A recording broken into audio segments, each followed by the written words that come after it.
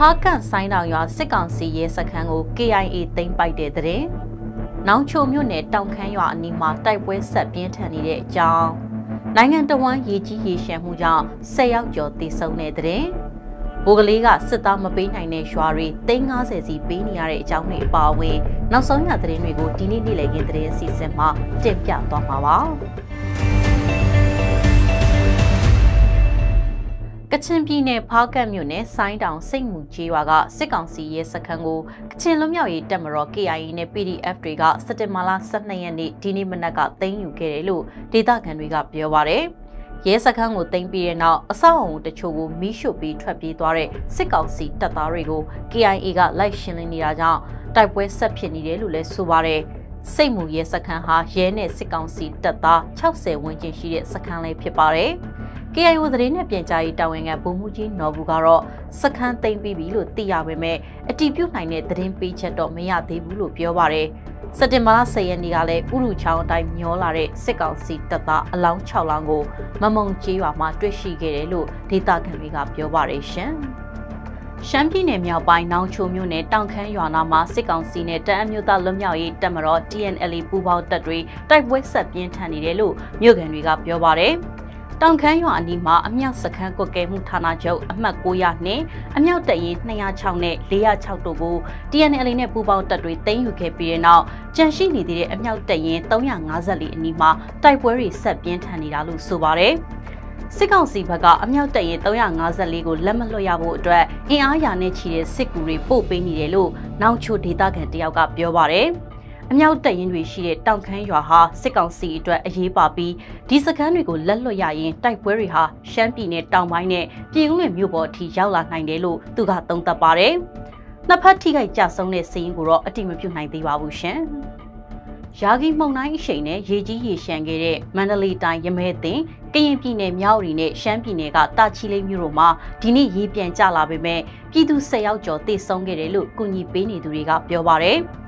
မန္တလေးတိုင်းရမဲသိမ်းမြို့နယ်မှာပြီးခဲ့တဲ့ရက်ပိုင်းကမိုးကြီးရေရှမ်းမှုကြောင့်အိမ်အောင်စုတထောင်ခွဲကျော်ရေဘေးတင်ခဲ့ပါတယ်။မန္တလေးတိုင်းထဲမှာပြည်သူ10ဦးသေဆုံးခဲ့တယ်လို့စစ်ကောင်စီမိသက်ဦးစီးဌာနကစက်တင်ဘာလ12ရက်နေ့မှာထုတ်ပြန်ပါတယ်။နေပြည်တော်တက်ကုန်းမြို့နယ်မှာသေဆုံးသူတယောက်ရှိပြီးတက်ကုန်းပုဗ္ဗသီရိဇေယသီရိနဲ့ပြည်မနာမြို့နယ်တို့မှာရေအနှင်းငယ်ပြန်ကြပေမဲ့အကူအညီတွေလိုအပ်နေတယ်လို့ဆိုပါတယ်။ တပီကုန်းရွာတစ်ခုထဲမှာတင်ပိတ်မိနေသူ90ကျော်ရှိနေပြီးအစားအသောက်နဲ့ဆေးဝါးတွေအရေးတကြီးလိုအပ်နေတယ်လို့ဒေသခံတယောက်ကပြောပါရရှင်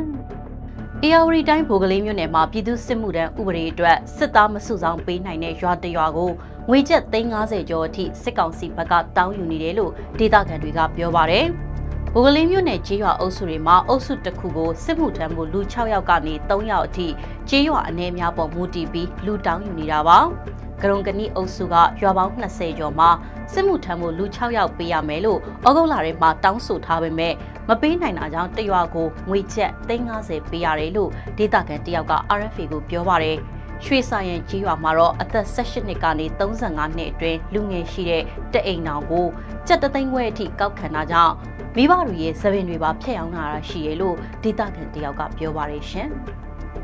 ရခိုင်ပြည်နယ်ကြောက်ဖြူမြို့နယ်အတွင်းကြီးရွာတွေကနေစားစရာဝယ်ယူသူ9ယောက်ကိုတရားမဝင်ရိတ်ခါတည်ယူရဲဆိုတဲ့ဆွဆွဲချက်နဲ့စစ်ကောင်စီဖမ်းဆီးထားတယ်လို့ဒေသခံတွေက RFA ကိုပြောပါတယ်။စက်တင်ဘာလ၁ရက်နေ့ကအမျိုးသမီး၁ယောက်နဲ့အမျိုးသား9ယောက်ကိုကညင်တော်ရွာအနားမှာဖမ်းဆီးခဲ့ပြီးစက်တင်ဘာလ9ရက်နေ့မှာတော့အမျိုးသမီး၁ယောက်ချောင်းကြီးဖျားရွာမှာထပ်မံဖမ်းဆီးခံခဲ့ရတာလို့ဆိုပါတယ်။ ဖမ်းဆီးထားသူတွေကိုကြောက်ဖြူမြို့မှာရဲစခန်းမှာထိမ့်သိမ်းထားပြီးမိသားစုနဲ့ဆက်သွယ်ခွင့်မရဘူးလို့ကြောက်ဖြူမြို့ကန်တယောက်က RFA ကိုပြောပါရယ်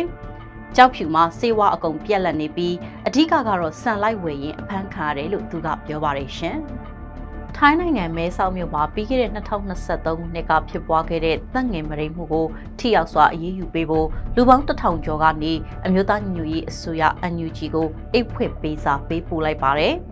2023ခုနှစ်ဧပြီလမှာအသက်9နှစ်အရွယ်မိန်းကလေးကိုလိမ်မိုင်းဆိုင်ရာကျူးလွန်ခဲ့တဲ့အသက်60အရွယ်ဦးအောင်မင်းဆိုသူကိုအမြန်ဆုံးအရေးယူပေးဖို့နယ်ပယ်အသီးသီးကလူပေါင်း1689ယောက်စုစည်းပြီးတော့အိတ်ဖွင့်ပေးစာတစ်စောင်ကိုစက်တင်ဘာလ10ရက်နေ့ကပေးပို့ခဲ့တာပါ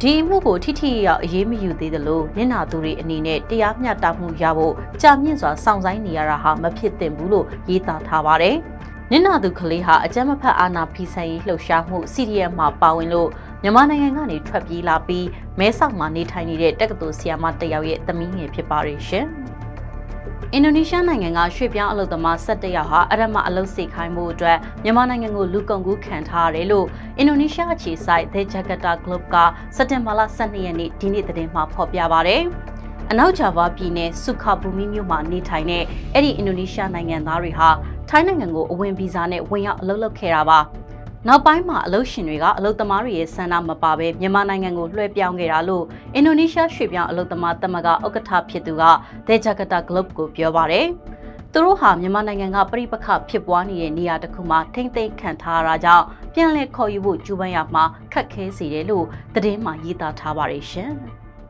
ဒီနေ့နေ့လည်ခင်းအတွက်နောက်ဆုံးရရှိထားတဲ့သတင်းတွေကိုစုစည်းတင်ပြခဲ့တာပါ။ RFA ကိုကြည့်ရှုနားဆင်တဲ့အတွက်ကျေးဇူးတင်ပါတယ်။ကျွန်မထထအိန္ဒြာအောင်ပါ။